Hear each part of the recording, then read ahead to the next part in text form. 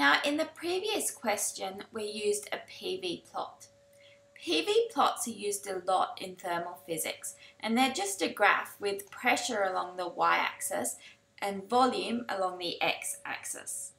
Now any line on a PV plot shows what's known as a path, which is a way a gas can quasi-statically move from one state to another. So quasi-statically just means that it's, it's near equilibrium. So it needs to be near equilibrium for temperature to mean anything. And so let's consider these lines on a PV plot.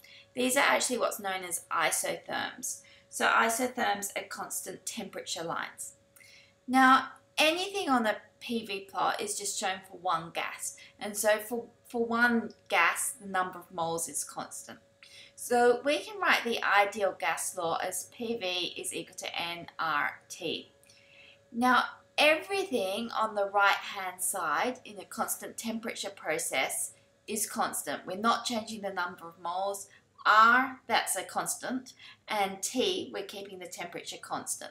So we can say that PV is equal to constant for a constant temperature process. And so we can write this as P is equal to the constant over V, which a lot of you will probably recognize as the formula for a hyperbola. Because if we write this as y is equal to k over x, in this case p is on the y-axis and v is on the x-axis, this is the way you usually write a hyperbola. So isotherms or constant temperature lines on a PV plot are drawn as hyperbola as in this diagram here. So we're now going to be using PV plots to consider molar specific heats for gases. You've probably heard about specific heats for solids and liquids such as water before, but gases also have a specific heat. So the specific heat is the amount of energy that needs to be added to raise one mole of a gas by one Kelvin. So let's consider this PV plot here what we've got is an initial state and a variety of different final states. So there's different paths we can take here, shown in the kind of reddish color, to get to different final states. Now because these final states are all along the same isotherm at a temperature T plus delta T, we know that they've all got the same temperature. The and they've all come from the same initial state. So the change in temperature along each of these paths is the same.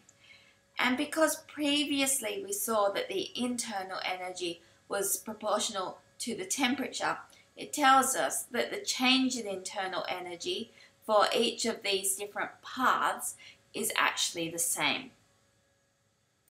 So the internal energy is set by the temperature of the initial state and the temperature of the final state. But the work done to get from one isotherm to another isotherm actually depends on which path we choose because the work is the area underneath the curve. So the work and the heat added are dependent on the path that we choose. So the internal energy of any state is given by, for a monatomic gas, 3 over 2 nkBT. For any gas, we'd have an F here instead of the 3. So the change in internal energy is 3 over 2 nkB delta T. And so if the temperature changes by a fixed amount, the internal energy changes a fixed amount. But the work done is dependent upon the path so Q is also dependent upon the path. So we can write that Q is equal to the specific heat times the change in temperature. But this is really the definition of the specific heat here. It's related to the amount of heat added and how that changes the temperature of the gas. More use, it's more useful to use the molar specific heat, which is the amount of heat we need to add per mole of the gas to change the temperature 1 Kelvin or 1 degree C. So at constant volume, we write the heat added is equal to N CV delta T. So this is the molar specific heat at constant volume. And at constant pressure, we write Q is equal to N Cp delta T. The constant volume case is when we're going from I to F. In that case, the volume here is not changing.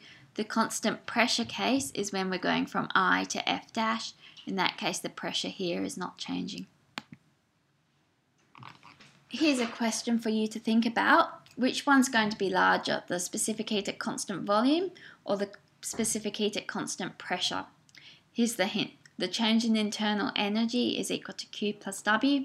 Q is defined as NCV delta T eh, for the constant volume case and as NCP delta T for the constant temperature case.